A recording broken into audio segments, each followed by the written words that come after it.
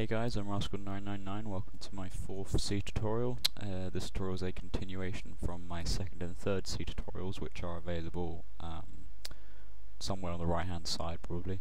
Uh, I assume you've come from those tutorials, uh, if you haven't then I suggest you check them out. Um, they're on YouTube, they're quite easy to find. And um, this tutorial is going to focus on switch statements, um, the switch statement. So let's get going. Um, in my last tutorial, the if statement, um, I was focusing on the if statement and its application in a program and how it's useful. Um, the method I um, implemented the if statement is yeah, the situation for which I use the if statement is all well and good, but there is a more suitable statement which can be used in place of the if statement here, and that is called the switch statement. Okay. Um, the switch statement is um, it basically takes it takes a variable and depending on what the variable is it will do a um, set of statements. Uh, the best way to demonstrate this is to actually do it so let's get going.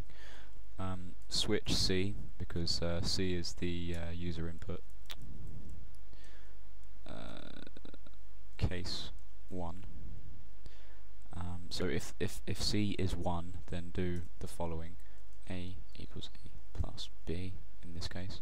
And we want to break out of the switch loop, uh, the switch statement now, because um, the case, a case has been met, so we don't need to be in the uh, switch statement anymore.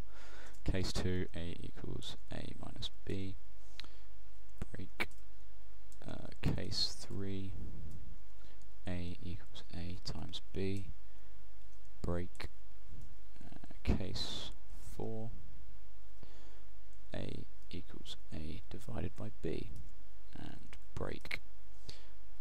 And close it off. Okay so now we have our switch statement.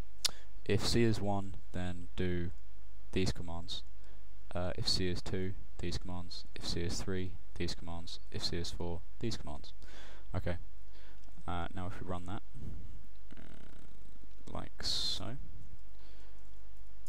And if we do 10 uh, plus 65, we have 75. And if we do uh, 12 and 3 divided by, we have that. And if we do um, 10 and 3 divided by, we get that. Okay, so that works fine. Um, as with the if statement. The if statement actually court cases. Um, the, the if statement calls uh, call instances where one, two, three, and four were not entered. Um, one, two, three, or four were not entered. So if we did 10 and 10 and then some random number, um, again it just prints out A. This isn't a uh, desirable uh, effect. So let's let's fix that. Um, in the case where none of the cases are met, uh, we can do something called a default. So a default case, and in the default case we'll do uh, invalid input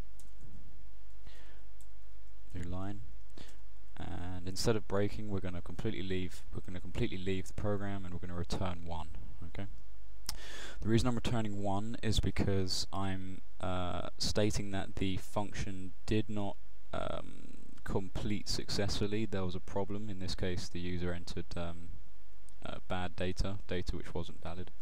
So we're returning one. I probably should have done this in my last tutorial, but I didn't, so I apologise for that. Um, but it's not it's not a vital thing. I don't actually need to put one there. I could put zero if I wanted to, but you know, for the sake of uh, learning, I suggest you put a one if you're um, leaving the main function um, upon an error. So we'll save that and run it again. 12 plus 90, so that works fine. And then if we do uh, 90 and 87 and we do 5, which isn't there, we have invalid input. Okay, so that works fine. Um, that's all I'm going to focus on in this tutorial. It's quite a short one. Um, my next tutorial is going to um, introduce while loops because uh, the next thing I want to be able to do is uh, keep looping through this program until the user doesn't want to anymore because at the moment it just quits after one opera after one operation so uh, we'll fix that in the next tutorial. Okay, uh, I'm Rascal999. Check out my blog at rascal999.co.uk and I hope this tutorial has been helpful. Okay, bye bye.